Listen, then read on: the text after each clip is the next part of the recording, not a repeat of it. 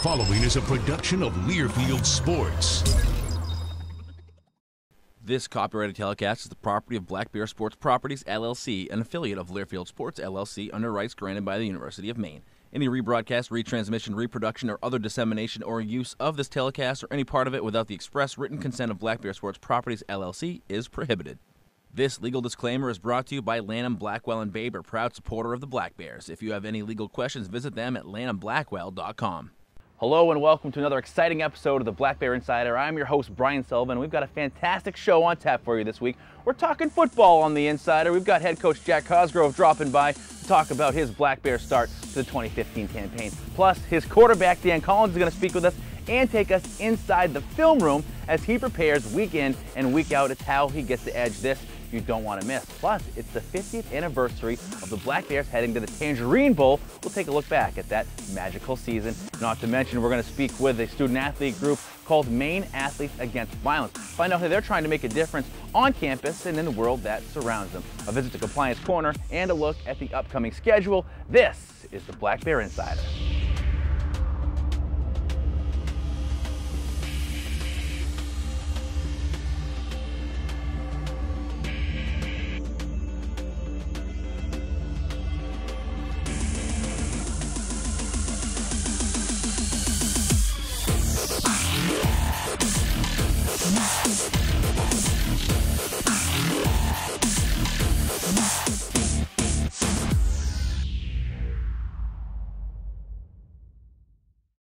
Black Bear Insider is brought to you by Lanham Blackwell and Baber, Division of Lifelong Learning, Maine Savings, EBS Building Supplies, Fisher Plows, and Digital Workshop. No matter what your game is, indoors or out, the Student Recreation and Fitness Center at the University of Maine is your place to play, work out, relax, and have fun. The Rec Center has state of the art cardio and weight training equipment, a pool, spa, and sauna, a running track, and more than 60 fitness classes a week. Or take your game outside with the Maine Bound Adventure Center. Hit the climbing or bouldering wall, learn how to kayak, go rock climbing. Whatever game you like, the Student Recreation and Fitness Center is your place to play. Under the bright lights of your playing field, one performer continues to shine. The Fisher Extreme V.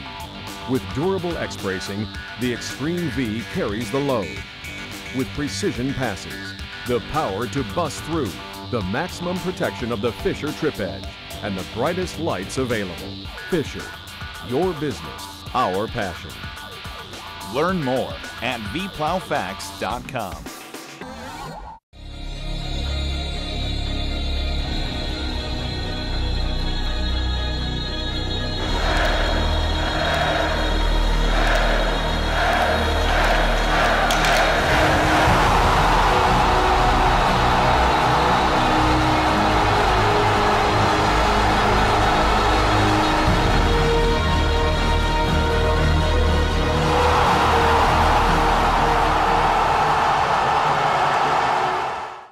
Welcome back to the Black Bear Insider, now joined by Maine football head coach Jack Cosgrove. Jack, thanks a lot for stopping by. Great to be here, Brian. Thanks for having me. Now, one thing I want to talk about is a big win against Albany. You know, you go down there, I would say not in desperate need of a win, but you come home two and one in the CAA as opposed to one and two.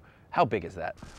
Well, it's it's a it's a huge win for us. I think in, in a lot of ways, not only in the standings and all those type of things, but just you know the locker room. You know, the young men that uh, that inhabit that locker room needed a needed a win. We had uh, uh, shown bits and pieces of uh, being a good football team throughout the course of the year, but we never really put it all together. And you know, coming after, uh, you know, right after a, a butt kicking that we had administered to us by, you know, Richmond down there, uh, it was really good to see the guys respond. And um, you know, it's it's a tough trip too. It's it's it's not an easy travel, and uh, uh, the, the, the, guys met all the challenges, the challenge of travel, the challenge of the game, and uh, and all of the things that go into really allowing you to feel good about a win. You mentioned it a little bit. You see it on the practice field, but it's got to be nice to know that you've got a 39 to seven in conference win in you to put it out there. You know, to see it play out on the field, it's got to feel good.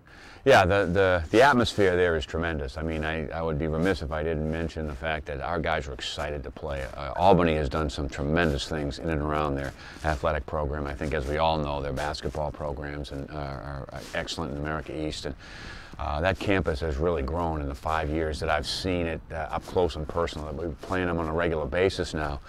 It was a great game day atmosphere. Their stadium is nice. They got the hill with all the students on it. There just was an electricity there that I think helped our players. I mean, it was, it was really nice to be the, the guys with the, the white uniforms on, walking into a, a place full of purple and, and gold and feeling the challenge of, hey, let's play a great football game. Now, some people love travel. You know, personally, uh, I'm a homebody. I, like, I want to be at home. Now, you you and your team have led a jet set lifestyle out of the gate here. What, four out of the first five on the road, and now you actually get to, to come home and get to taste of that home cooking. It's got to feel pretty good. It's going to be a little different, Brian. Yeah, we've had two flights and two bus trips. Uh, to this point, you know, sandwiched around a, a, home game with Rhode Island, which seems like it was a long time ago that we played here.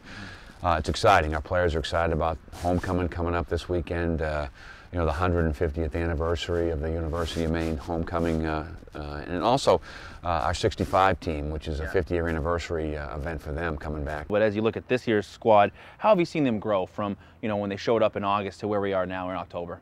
the most you know, important thing I've seen is our resiliency. You know, that uh, we have a, uh, an ability to keep going forward despite some of the challenges that we're facing. And uh, I was really um, impressed with that on Saturday. You know, the attitude they brought to the game was outstanding. And uh, everybody contributed. I think it's, you know, when you talk about the game of football and you talk about team, you talk about making contributions, and we had them throughout the uh, the game. You know, the defense, the offense, the special teams were all outstanding individuals who are high profile guys for us played very well.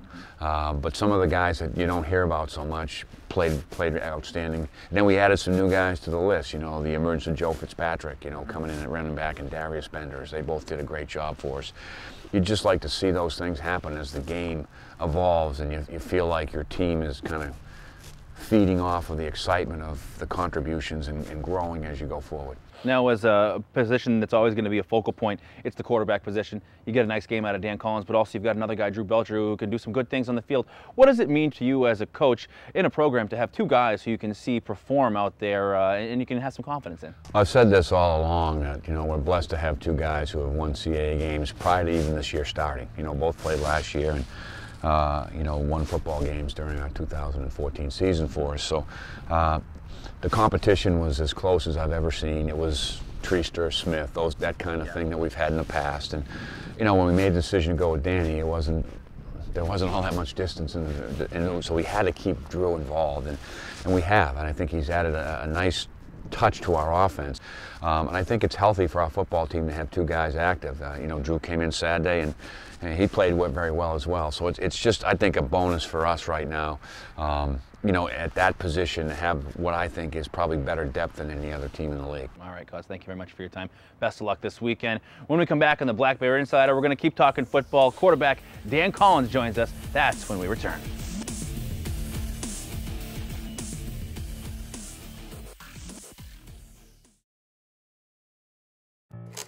We could move some investments, but your real problem is your checking account. It's awful. You get nothing in return, and you pay monthly fees. Doesn't everybody? Not if we move you into the red. I thought red meant negative. Not that kind of red. Red Wallet checking from Maine Savings. Red Wallet is free checking with monthly rewards and ATM fee refunds. Red Wallet offers rewards of high interest, cash back, or even tunes. Open your free Red Wallet account today, only at Maine Savings. EBS Building Supplies knows time is the most valuable resource you have. That's why they offer free delivery anywhere in their service area.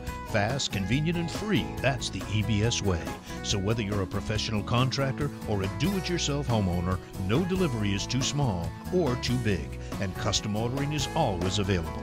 Use EBS free delivery to make your life easier and your home improvement project complete faster. EBS Building Supplies. Can do. Just ask. Getting your education through UMaine Online offers all the advantages you'd expect. Access to the state's premier public research institution, world-class faculty who are leaders in their fields, active learning and interaction with your professors and classmates, a flexible schedule where and when you need it, online student services dedicated to your success.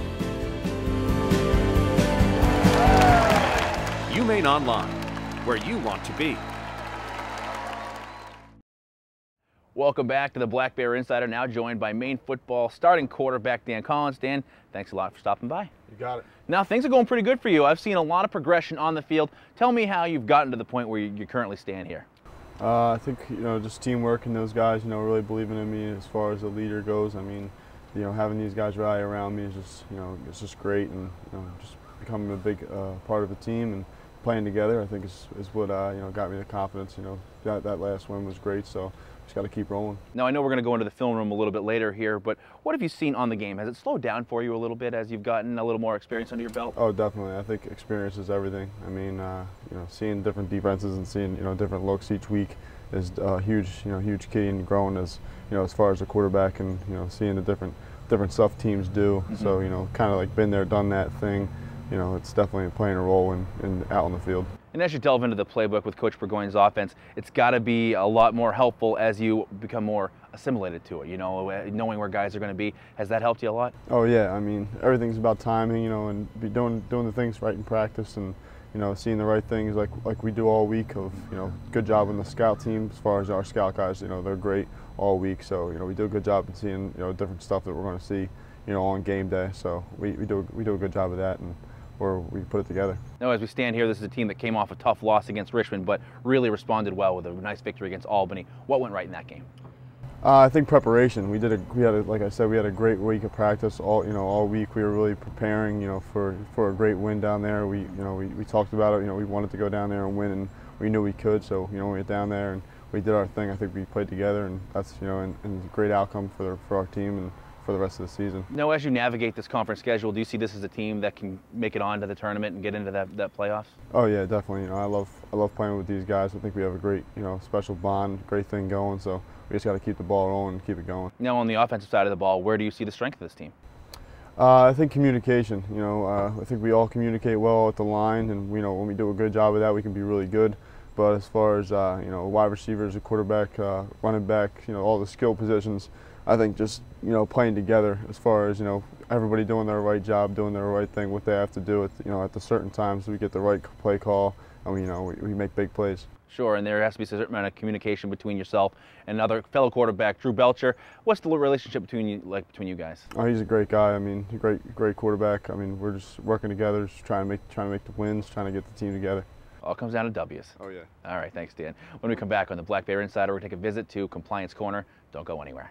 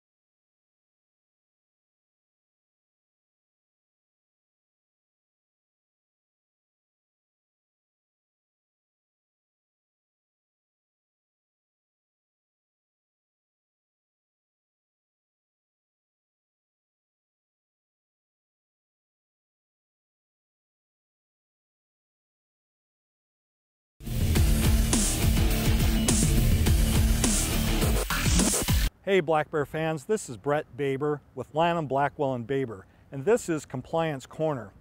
We're here to help you understand some of the most misunderstood rules and regulations that commonly affect our Black Bear athletes and programs.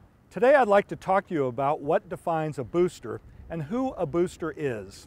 A booster is anyone who has ever promoted the athletic department, provided services for UMaine athletics, made any financial contribution to any team or the athletic department, purchased season tickets to any Black Bear program, works or worked for the athletic department, or is the spouse of someone who has done so, and has otherwise promoted the athletic department or program in any manner.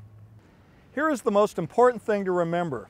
Once you've been identified as a booster, you retain that title indefinitely. So if you have any questions about this or any other compliance questions, feel free to contact the Black Bear Compliance Office at 207 581 1537 or visit goblackbears.com slash information slash compliance. This has been Compliance Corner, brought to you by Lanham Blackwell and Baber.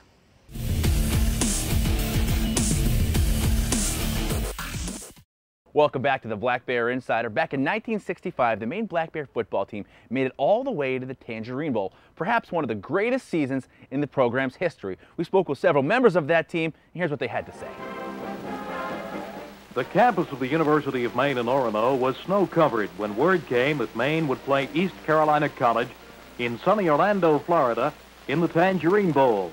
Next thing you know, we're invited to play East Carolina, and uh, we're practicing in the old field house. There was snow on the ground and running the wing tee. So anyway, we uh, we got ready for them and uh, went down to Orlando to play East Carolina. Playing some of these away schools, and we had to go to Tampa and places like that, just hadn't happened before. They played where they could bus to, and that was about it. So some of the players on the team had never been on a plane before. It was the people that made it up. They weren't the biggest, they weren't the fastest, and they weren't the strongest. But they played together uh, like the best that you could ever do. It's five minutes to halftime. Third down, tailback Dave Hughes. Number 43, starting around his own left end. As he moves toward the left, he is thrown back at the seven-yard line on a diving tackle by number 24, Norm Tardif. The shame of the thing, we were in that ball game a little bit, and then Dick DeVarney got hurt, and he was the uh, kind of the motivator of our offense, and uh, things kind of out of, out of control in the second half. But uh, uh, we had a great experience. It's a great group of guys, and we were a real team. Plus, we had two superstars in John Huard and Dick DeVarney, the quarterback. Uh, we had they were key to our success. It was a very cohesive team. Everybody put the team first. We had terrific coaches, and we were just well prepared for every game. Second and seven. Alexander pitches out to Richardson, rushed by the Maine end Al Riley, but he gets away, knocked out of bounds by Charlie McDonald. It's part of who I am. It's part of my identity. It's something I always, you know, think highly of, and, and really am thankful that I was part of it. Proud team. Maine may have been out of its class on the field, but certainly not in the hearts of the many friends they've made during their week in Orlando. We just had a great experience, and uh, it was a wonderful time. It was like another family, really. You know, when I look back over the years, the people that have been instrumental besides your parents are your coaches. And these guys were outstanding, you know, folks to work with. Well, it's always uh, meant a lot to me. I think I've always taken pride in the fact that I'm, I'm, from Maine and originally, and I've stayed in Maine, and my companies are in Maine. Uh, and my most of my children live in Maine as well. So we're Mainiacs, and uh, but we love it. I probably didn't know coming here what it might mean to me, but since then, as the time has gone by and you're supporting the team and its consistent uh, effort year after year, uh, seems to add to what it means for all former players. And I hope future players feel that way too. Here on the University of Maine's campus, it's apparent that student athletes have their eyes on making a difference, not only on campus, but in the community that surrounds them. When we come back on The Insider, we're going to speak with a student group called Male Athletes Against Violence. This you won't want to miss.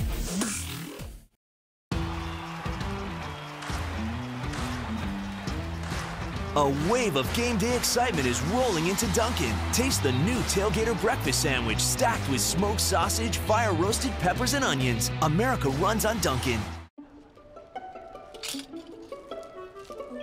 Oh, wait, wait. I'm gonna need you to ring these all up separately, please. separately. Oh, seriously, with the dime thing again? What? I earn a dime every time I swipe. Now hand me those socks. Nope, just one at a time. With Make Sense Checking from Gorham Savings Bank, you earn 10 cents on all debit card purchases that post and clear. Apply online in as little as five minutes. Thank you. Another dime.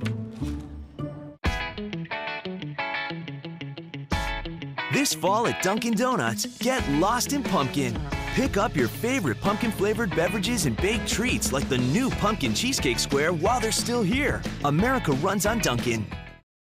Welcome back to the Black Bear Insider. We're now going to turn our attention to a student athlete group called Male Athletes Against Violence, headed up by Dr. Sandra Caron. This group is all about making a difference in the world that surrounds them. Take a look. One out of five. One in five women, one in every five women will experience sexual assault. We know that it's an important issue and one that needs to be addressed.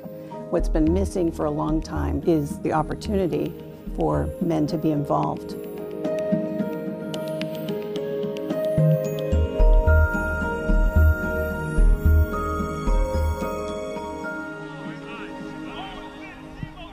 Male Athletes Against Violence is a unique peer education program that involves men in issues of anti violence. Unlike most peer ed programs that are co ed, this one is unique because it offers the opportunity for men to stand up and be involved. Our biggest goal is kind of to put a stop and um, to prevent any domestic violence, any um, sexual assaults, or any bullying kind of within the community. And we all have different roles and we try to contribute to uh, putting an end to those things. I think that involving male athletes counters a stereotype. I think that we do see a lot in the media uh, the negative, men are abusive, male athletes are abusive, and this is one way to counter the stereotype. You know, this is just not about being a student athlete. This is also about being a young man on a college campus and being a young man of influence on your, uh, you know, the, uh, your peers and, and, those around you. So I think it's been something that uh, it's really been neat to see, something that brings a tremendous amount of pride. A lot of what the men do in the program is community outreach, trying to be available for events on campus or doing workshops in the residence halls, talking directly to small groups of students. When we're walking around campus and we see things that's going on that's violence, we, we step up and be leaders and don't just sit there and just let it allow it to happen. We say something. We're role models with people who people look up to and they seeing us do the right thing, I'm pretty sure they'll do the right thing. I feel like that with that big platform, it kind of gives us a lot of leeway to really reach out to people. I mean, if they look up to us, it's something that can really, you know, spread throughout the campus. When they kind of see um, these role models or these kind of status quo athletes in the community, especially a small town like Orono, they're definitely watching, they're definitely seeing what we're doing, so we want to try to paint the right picture and how to treat people. We want to kind of get out of the social norm and really challenge people to, to act the right way. You know, growing up, my mom was always a, she was treated like a queen. You know, that's how he started my dad, treat my mom like a queen, so we all do the same. So I feel like just by me talking to younger kids, like when we go to schools, that's when they learn. That's that's the time for them to learn and to get the you know the right habits. We hear study after study talking about how issues around assault, let's say particularly sexual assault, are at epidemic proportions. And for years and years, we've had women standing up. So it's nice to have an opportunity to allow men to stand up and lead. I'd say the other thing is just bullying We've seen many videos and there's a bunch of different campaigns where bullying happens in, um, in schools with nine-year-olds, 11-year-olds, and they kind of get bullied so much to the point where they end up committing suicide. That's something that we definitely want to put an end to, and, and I think it's devastating. You know, lots of people care about these issues. They care about domestic violence. They care about sexual assault. But there may be no way for them to sort of stand up and lead and be part of the solution, to speak out. And I think that's what MAV really is about, allowing male athletes in this case the opportunity to be part of that. I feel like this can kind of be a contagious thing as far as preventing situations like bullying happen on campuses. And I kind of hope that we can, you know, reach out to more schools and whatnot because I feel like the more we reach out to high schools before they get onto that college campus, it's something that'll kind of set that image in their head of preventing a situation like bullying happening. Our role, we want to just kind of show the community and show um, people in the country that, you know, everyone's equal and everyone needs to be treated with that respect. That's kind of the importance for us.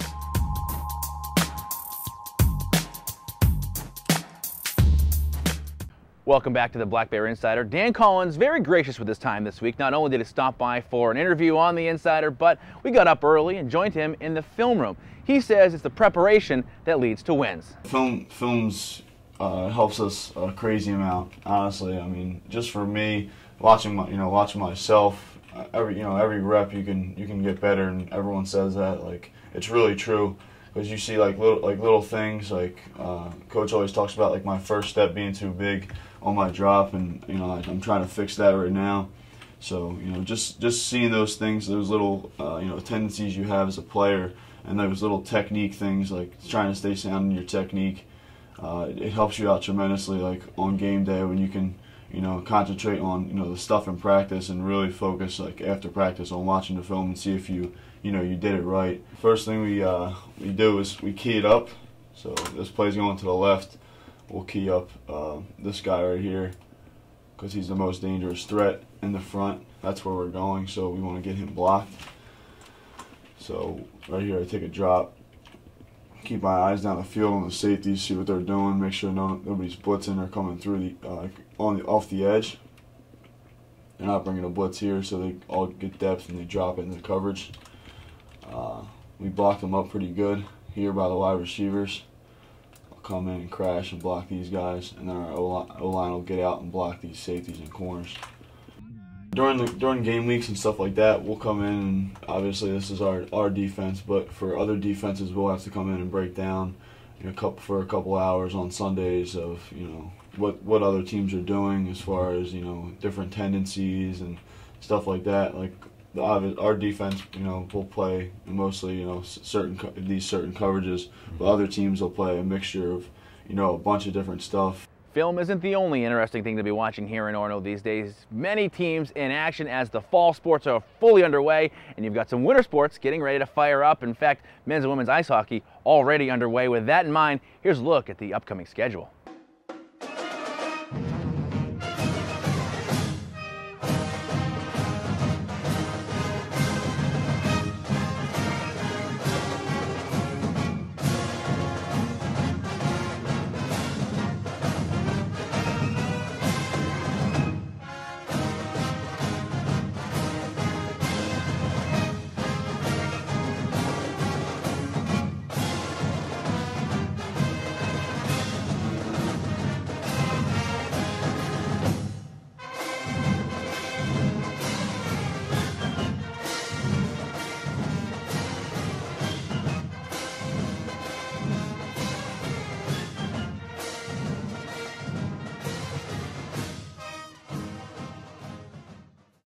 Well, that's going to wrap it up for this week's episode of the Black Bear Insider. Thank you very much for joining us. If you want more information about your favorite teams, go to goblackbears.com. Until we see you again, we will say, go Black Bears.